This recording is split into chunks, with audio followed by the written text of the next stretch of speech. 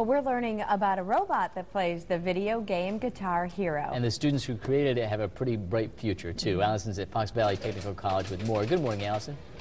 Good morning. Those students at Fox Valley Tech are in the Automated Manufacturing Systems program, and these are some of the other final projects. Uh, this one, this machine here makes little doors.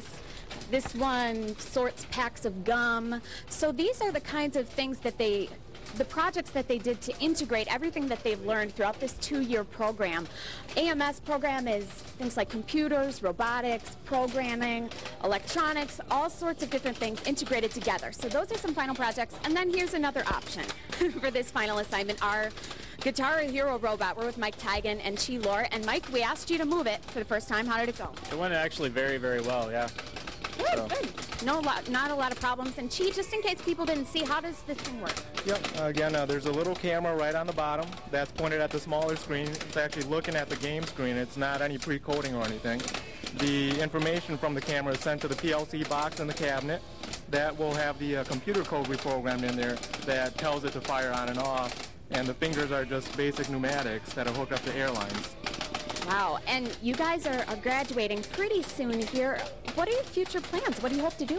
Hopefully to work in a job that has a lot of automated processes. Pretty much what I've been going to school for and what I like doing. So. Yeah. Gee, does the job outlook look pretty good for a field like that? Absolutely. Uh, like I told you, it's in its infancy right now, so it's set to blow up anytime now. Cool. So guys, uh, of course, there might not be a lot of practical applications for projects that, you know, robots that play Guitar Hero, but a lot of practical applications in the real world once you do get your job. This is Ryan Guthrie, a 2005 graduate of the same program, and you're back for your brother's graduation, right? That's correct, yes. And this right here was the same assignment that Mike and she had to build their Guitar Hero robot. What is this? Well, what we did here is uh, we interpreted the uh, directions for the assignment slightly differently, and we built a robot that plays blackjack. so we have here uh, the robot that goes through the entire operation of dealing, keeping score, shuffling, takes care of everything for us, and uh, it's a great recruitment tool that we've used here at Fox Valley Tech. Yeah, so you made your project and left it here for them to use. Chi and Mike were talking about their high hopes for their future after they graduate. What have you been doing?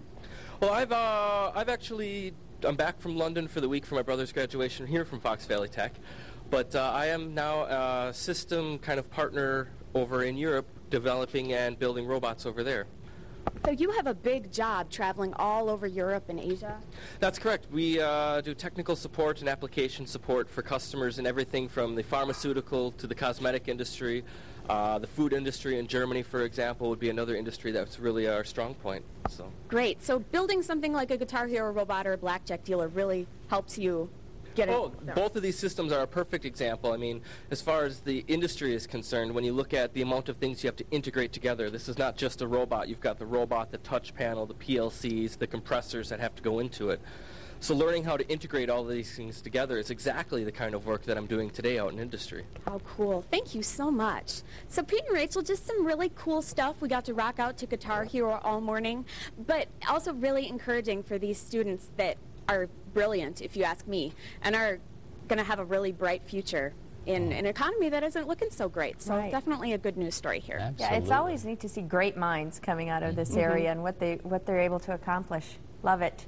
Thanks, Allison. Sure.